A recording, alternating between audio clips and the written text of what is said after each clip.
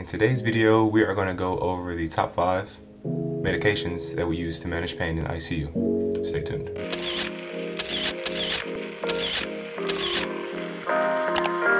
What is going on, beautiful nurses? This is Cordero. Welcome back to A Couple Nurses. In today's video, we're going to talk about the top five medications that we use in the ICU to manage pain. Uh, before we dive into this quick video, be sure to like, share, subscribe. As always, if you find any value in this video, put Nurses Rock down in the comment box and any questions that you may have as well. Medication and pain management are huge in the ICU. A lot of people don't realize that whenever patient's sedated, that is a very uncomfortable thing. So you have this this tube that's going essentially down your throat and to leave that patient with no kind of pain management is, is just really cruel. Let's break down the top five. And before we get into the top five, I do want to tell you guys that medication doesn't always need to be used for pain. So do use your non-pharmacological um, strategies for managing pain. A warm compress I have found to really, really help patients. So, you know, a warm rag on their head or a warm rag around their neck um, really, really helps. And then also, you know, uh, what I'm about to dive into is a lot of opioid things. So never, never uh, dismiss something like IV Tylenol. I think that helps a lot as well. The number one medication that I've used to help manage pain is fentanyl. And the way that we have fentanyl at our hospital is we have them in a, like a locked up in a, um, a uh, medication pump or a PCA pump.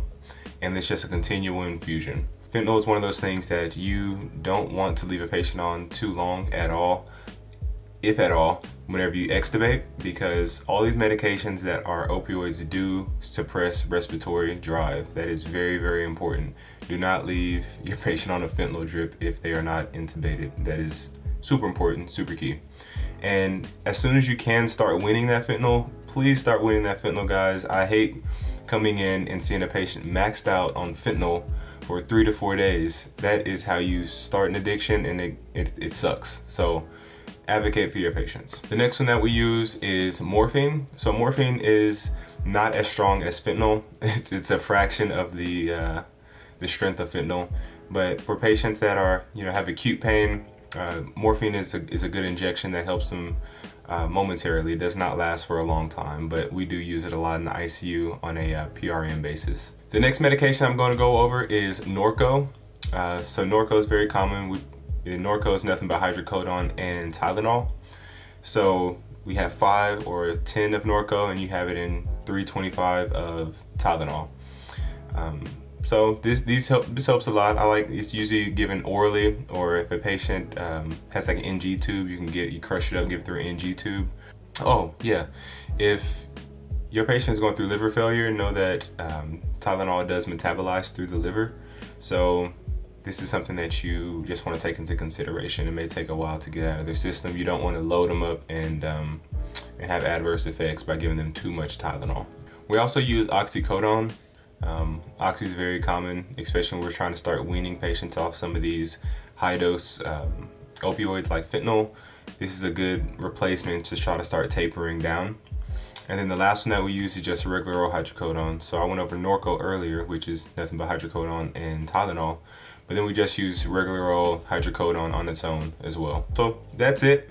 Nice, quick and easy. Uh, hella opioids, but you know, as professionals, we do have to um, take in mind that we can start weaning these things when we have a chance to, and you have to really advocate for your patient.